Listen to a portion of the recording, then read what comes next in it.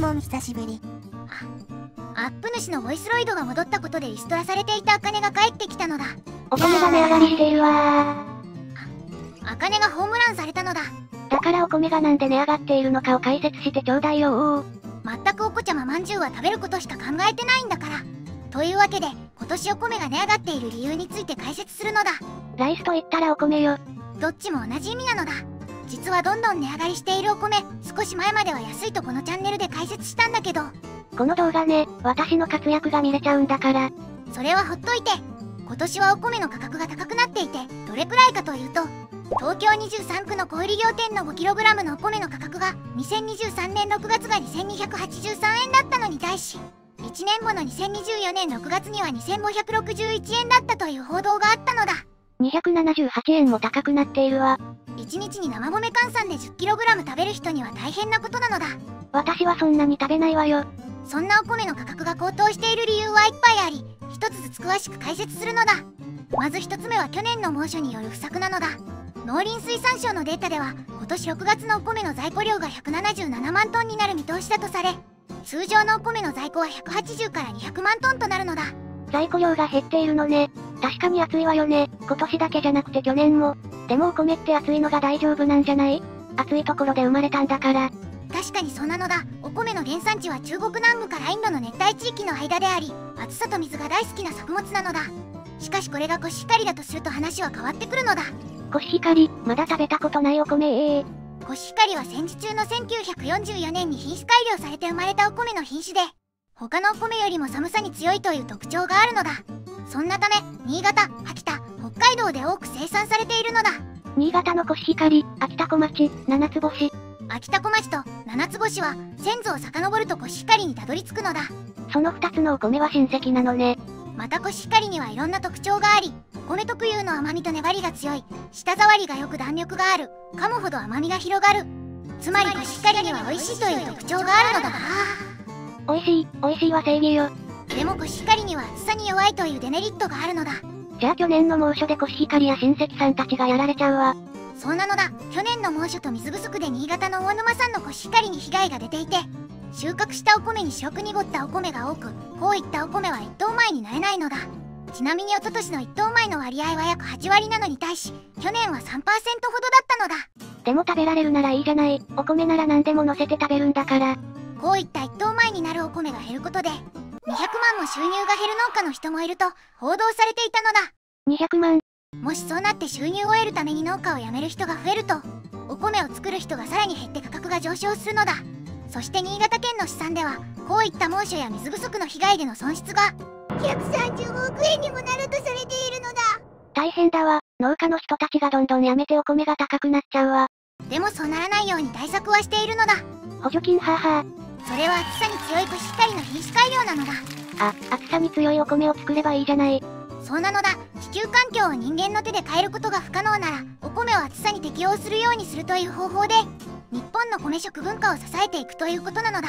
実際に新潟大学農学部で約20年開発された寝台コシヒカリというコシヒカリがありこのコシヒカリは暑さに強いという特徴があるのだ。えもう暑さに強いコシヒカリがあるのね実際に販売がされているので気になる人は寝台コシヒカリで検索してほしいのだ。食べ尽くすわよ。種も見事食べ尽くそうで怖いのだ。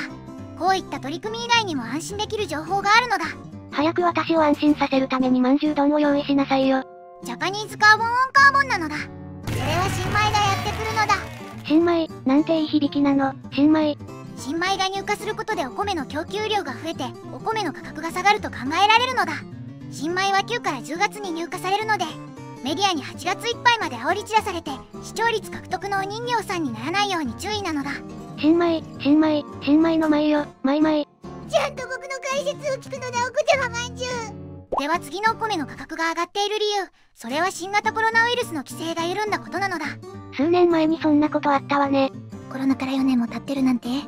まあっていう年を取った現実にショックを受けるミキネキにダメージが痛烈からやめるのな新型コロナウイルスが流行すると外食が減り観光客も減り逆にカップ麺などの家で簡単に作れる食品が売れるようになったのだ。じゃあお米の消費量が減っちゃうわね。そうなのだ。消費量が減って需要が減る。価格が下がるのだ。その結果お米が作られる量が減っていったのだ。安いもの作って儲からなかったら作る人なんて減っていくわ。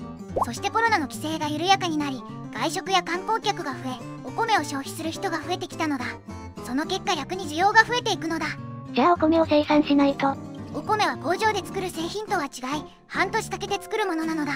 食べる人が増えたからといって明日にお米を生産することなんてできないのだ。じゃあ今だと需要が増えて供給が減って、お米の価格が上がっているのだ。は早く新米が出てきて供給量が増えてちょうだい。あしかしその新米も出荷量が減るかもしれないとアップ主の中で話題になっているのだ。自分の中で話題ってどういうことなの？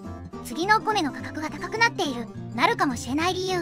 ジャンボタニシなのだ。はあジャンボタニシ。って何なのよ。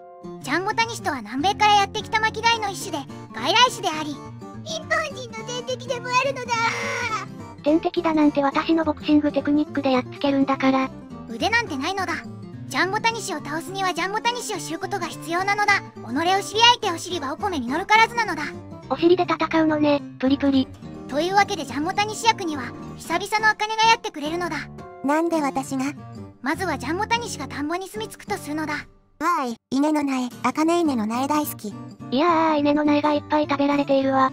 そうなのだジャンボタニシは稲の苗を食べる生き物でせっかく植えた苗を食べてしまうのだでもそれを前提とし苗を全部植えず食べられたところを後で植えるという対策もあるのだ稲だけじゃお腹いっぱいにならんな。あ、あそこに在来種の貝類や水生昆虫がいる。茜、在来種の貝類や水生昆虫大好き。しかも日本の田んぼに住み着く在来種を食べてしまうので田んぼの生態系が崩れてしまうこともあるのだもしかしたら田んぼの生態系が崩れてお米が育ちにくくなるかも。ジャンボタニシが稲を守ってくれる生き物をバクバク食べてしまうと稲が大変なことになる可能性があるのだブハー、いっぱい食べたで。食べた後にピンク色のブリブリを出したわよ。私のブリブリよりプリティだなんて悔しいわ。実はこれはブリブリではないのだいっぱい卵を産んで子孫を残すで。た、卵、いやー気持ち悪い。みんなは田んぼの中でこんなピンクっぽい卵を見たことあるかもしれないんだけど実は農薬とかではなくジャンボタニシの卵なのだもっと子孫残すためにいい男を見つけて食べまくるで。ってなんなんなこの台本。あ、これじゃあジャンボタニシがどんどん増えてお米が食べられなくなっちゃうわ。でも大丈夫なのだおこちゃままんじゅう実はこのジャンボタニシ寒いのが大嫌いなのだはあ、確か南米の外来種だったわよね。あそうなのだそういったわけでジャンボタニシは日本で越冬することが難しく冬を越すと数が減少するのだ絶妙なバランスで田んぼの生態系が保たれているのね。しかしとあることでこの生態系が乱れているのだなんよ、乱れるのはあのピンクの女だけにしてちょうだい。いやー、寒い寒い。キャー、冬、茜冬大嫌い。でも、今回の冬は去年よりも厳しくないで。茜ちゃん可愛いやった、茜ちゃん可愛いやった、茜ちゃん可愛いやった、茜ちゃん可愛いやった、茜ちゃん可愛いやった、いやー、ジャンボタニシがいっぱい生き残ったわよ。おー。そうなのだ。今年の冬は暖冬でありジャンボタニシが多く生き残ったとされたのだ。という予測は的中していて今年の佐賀県ではジャンボタニシが前年よりも3倍も増えていてジャンボタニシ注意報が発令されたのだ。どうすればいいのよ、ジャンボタニシ。ー。もちろん農家の人たちも子供の苗を食べられるのを見過ごしているわけではないのだ。まずはやっぱり農薬でもお金と労働力がすり減ってしまうから困るのだ。出費が増えないでちょうだい。次はあらかじめ苗をストックしておいて食べられたところに再度植える。でも機械じゃなくて手で植えるようにするからやりたくないのだ。次はジャンボタニシを捕まえたり卵を潰すのだ。やめて、私の子供たちをやるなら、この私だけにして。どっちも潰すわ。でも卵は稲や田んぼの壁にくっついていて潰しに行くのが大変なのだ。もちろん他の人の田んぼに入ってジャンボタニシを倒すという大義名分を掲げて不法侵入したらダメなのだそれで次は捕獲器なのだ。これはジャンボタニシが好きな香りがする装置を置いてホイホイのように捕まえるのだ。カサカサ、ええ香り、じゃなカサカサ。いやー、ジャンボタニシも G も絶滅しなさーい。そして最後はすっぽんやアイガモを使ったジャンボタニシバイキング作戦なのだ。バイキング、お米バイキングよ。これはジャンボタニシを食べる生き物にジャンボタニシの味を覚えさせて田んぼに放ちジャンボタニシを食べてもらうという方法なのだ。この方法は広範囲の田んぼのジャンボタニシを駆除することができるんだけどやっぱり飼育に手間がかかるという欠点があるのだ。はあはあ、アイガモ、レイムアイガモ大好き。そして他の動物がアイガモを食べに来る可能性があるのだ。キャー、このまんじゅう何でも食べるで。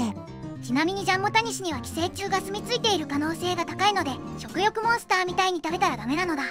というわけで今年は多く越冬したジャンボタニシによる被害で今年収穫されたお米の価格が上がるかもしれないのだ特に佐賀などの暖かい地域でコシヒカリだけでなく暖かい地域で育てられるお米もピンチなのだ。お米？私のお米？ええ。ちなみになんだけどアップ主の家の近くの田んぼにもジャンボタニシの卵がよく見かけて稲が多く食べられているところがあったのだ。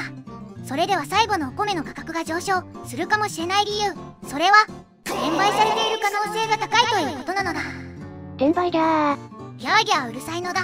現在ネット上でスーパーのお米が売り切れていることが報告されそして転売祭じゃなくてフリーマーケットもどきサイトに出品されているのではないかと疑われているのだー。いやー、お米がお米が早く買い占めないと。慌てるんじゃないのだおこちゃままんじゅうほとんどのお店で品切れになっているわけではなく情報を発信した人が偶然品切れ状態であったためなのだまたお米の備蓄は通常よりも少ないけどまだまだある状態なので心配する必要じゃないのだそれなら安心ね。新米まで待つわ。でもみんながこういった情報を鵜呑みにしてお米を買い漁った結果転売ヤーがお米の価格を爆上げするために大量に買い占めて本当にお米の価格が上昇する可能性があるのだなのでみんなは偶然お米が品切れになったという情報でお米の価格が高くなると解釈してほしくないのだアップ主が通っているスーパーの場合はちゃんとお米があったのだでもマリサと一緒に通っているスーパーはいつもお米が品切れなのよ。毎回30袋しか買ってないのに。